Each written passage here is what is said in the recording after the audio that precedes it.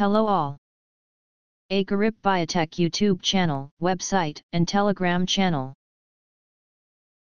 Specifically, the bioinformatics, molecular biology, and proteomics is the main content for now.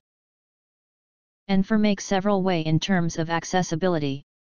A Telegram channel has been initiated. This Telegram channel contain the YouTube channel contents only, but every topic related to biotech science. Also the website was initiated. This website contains the slides, transcripts beside the YouTube videos.